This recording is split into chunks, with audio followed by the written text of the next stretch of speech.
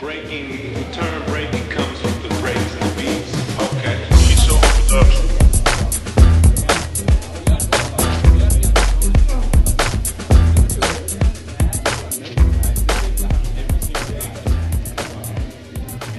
Uh, my name is Leo Tai. I'm the president of the MSU Breakdance Club. I've been breaking for about eight years now. Kevin Richardson. Uh, I'm a junior. I'm the MSU Breakdance Club event coordinator.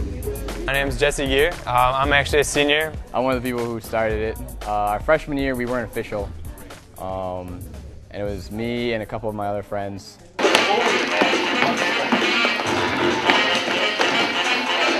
Actually, um, there was a club before I came here. I transferred here from Wayne State, and they sort of died off.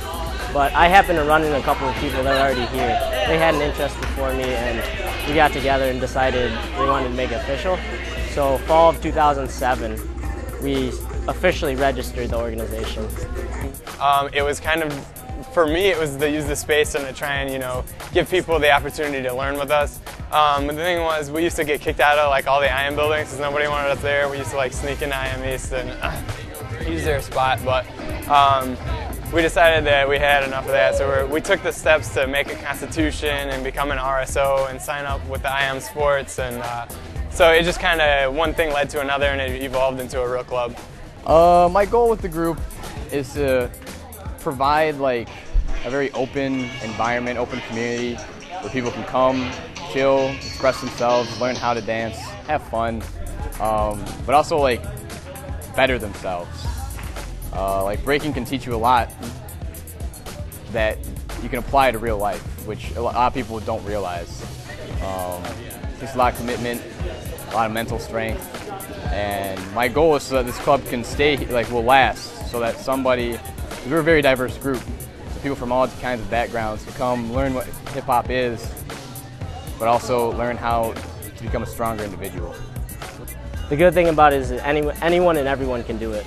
So it doesn't mean fat, skinny, old, young, whatever. Anyone can break dance.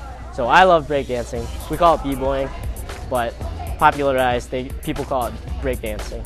Well, one of the awesome things about hip hop and b-boying is that it's pretty much defined by the individual.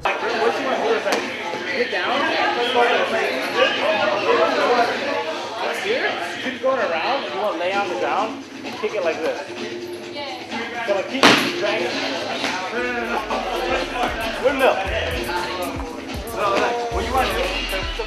In b-boying, there's there's a lot of ego to b-boying.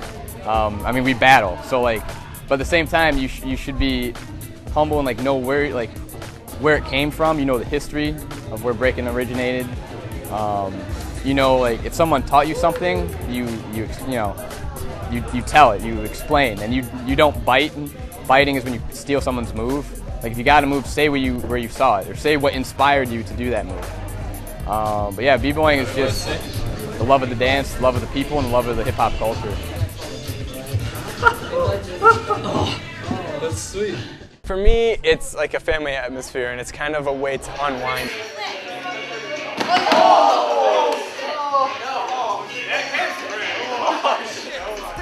For me, it's a passion, so it's not like work to me. So this is kind of what I do. This is my hobby. You know, some people play you know games on the computer or whatever. This is what I do. A breakdance, I guess, would take make it more of a hobby. A b-boy is like a way of life. Um, it makes me stronger. Um, it makes me, it gives me the confidence to know that I can overcome obstacles. Oh God, it burns. Always learning and, and, and breaking. So I'll apply like my work ethic, um, the fact that like I learn, like I work, I learn, and I grow with other people here. Like it's just the experiences that I gain, I can apply for my future. self improvement. Um, it's something you can really put your mind to, and you can grow as a person as you're growing in the breakdance art.